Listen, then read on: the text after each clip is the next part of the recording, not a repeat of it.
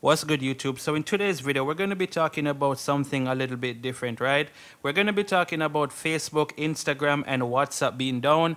Most of y'all should have been known that if you're a person who loves social media, then you should be seeing that, you know, none of those are working.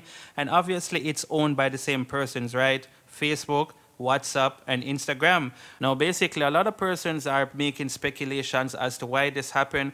Obviously, everyone is now over on Twitter making comments and stuff. I'm going to read this article. I'm not sure if it's going to be of any help to you guys, but at least I'm going to let y'all know what's going on and stuff like that because Instagram did make a comment. They basically made a post over on Twitter saying that they're aware of this whole situation but that was a while back. That was like maybe two hours ago or so. But anyway, guys, let's get into this article. So, Facebook, Instagram, and WhatsApp all go down during a major outage. Multiple social media platforms, including Facebook and Instagram, are currently down. Down Detector outage reports show that every Facebook platform has been affected.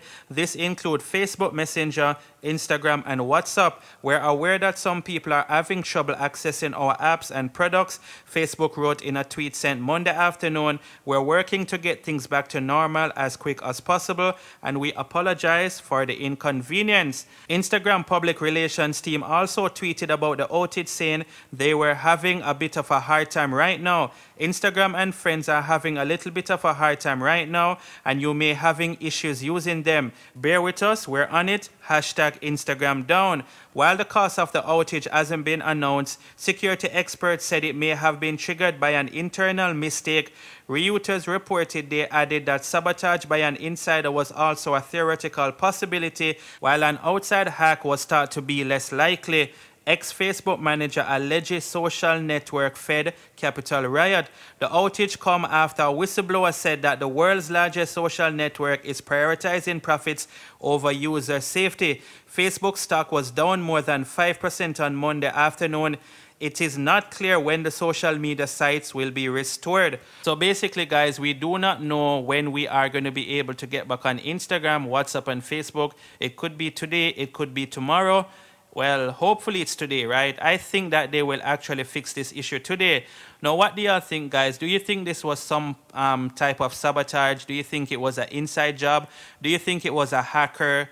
Do you think it has anything to do with stocks? Let me know how y'all feel in the comment section. I'm just hoping that this thing get fixes today because of course, you know, this thing is kind of messing with a lot of persons' business. A lot of persons rely on, you know, Instagram, Facebook to do their business and stuff like that.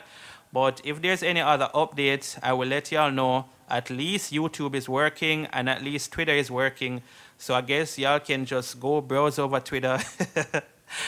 All right, guys. So let me know what y'all think. You know, what y'all think was the problem or what is the problem. Um, do you think it was a setup? Do you think it was hackers? Do you think it was an inside job? Leave it in the comment section. And I'll see y'all in the next video. Don't forget to like, share, subscribe, and turn that bell on. And I'll see y'all in the next video. Stay safe. Peace.